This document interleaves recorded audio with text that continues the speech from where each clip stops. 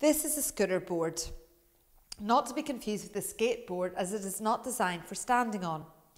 Instead, the child lies on the scooter board on their stomach or sometimes may sit on their knees on the scooter board. From these positions, they then propel the scooter board using their arms. The child receives vestibular or movement input as they propel the scooter board across the floor. The movement input can be intensified if the child moves more quickly, or in some instances, occupational therapists will use ramps to increase the intensity of the movement on the scooter board.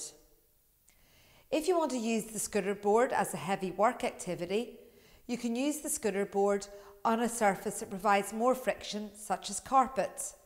This means that the child has to work harder to propel the scooter board, and so that provides proprioceptive input and makes the activity more calming and regulating for the child.